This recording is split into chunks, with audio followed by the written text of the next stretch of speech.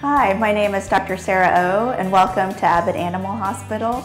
We've been open since 1985 when my father first started this practice and I've been here ever since.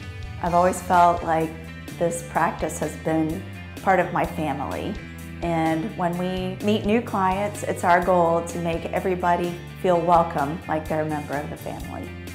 We're a full-service animal hospital providing comprehensive health care services for pets. We do yearly checkups, dental exams, we offer in-house blood work, digital x-rays, we do most routine surgery procedures, internal medicine cases, some emergency cases.